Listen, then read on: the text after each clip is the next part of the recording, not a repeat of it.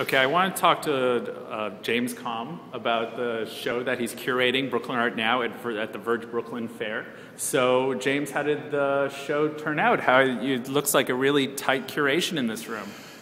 Well, um, considering we had about uh, maybe two weeks to get the whole thing organized and get the uh, submissions in, everything turned out great.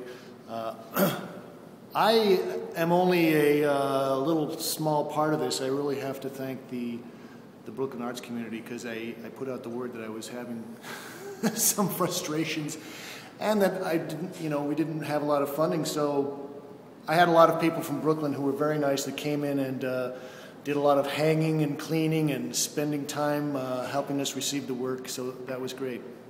And so tell me a little bit about some of the pieces. So you got to feature work from every Brooklyn gallery? Well, I sort of came on board after they'd already designed the, uh, the process, but what it worked out to, to be was that uh, we were asking for submissions from all of the Brooklyn galleries, and each gallery could uh, submit three artists, and uh, out of about 75 or 80 uh, submission forms we sent out, we got the returns from about uh, 25, and then we picked the artists out of that, or at least I picked them.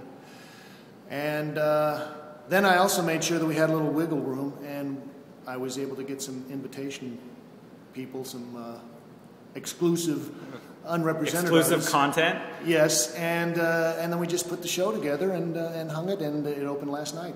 So, what, what do you think this says about Brooklyn art now? Well, Brooklyn Art Now is big. I, I, I, could not even uh, pretend to be someone that was uh, giving you the full picture. These are a few of the artists in Brooklyn, but uh, I'm hoping that it uh, gives people a chance to sort of see things.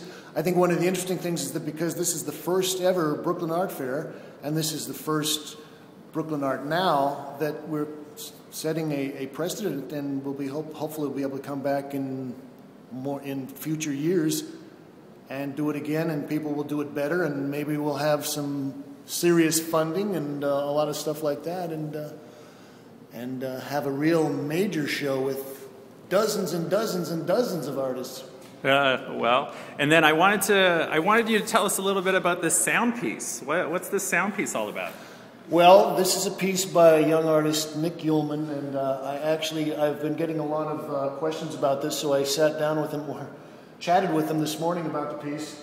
Uh, Nick is from Philadelphia, and uh, I think he's working, studying at NYU now on a uh, master's program in I think it's interactive media.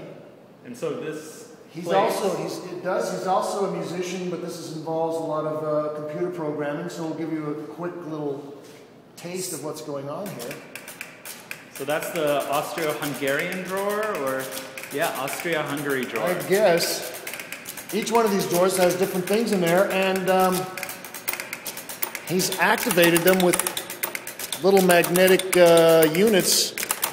And um, as you open all the drawers, it actually plays in concert. So, uh, got a whole lot of things going. We got their seashells are down in the Newfoundland drawer.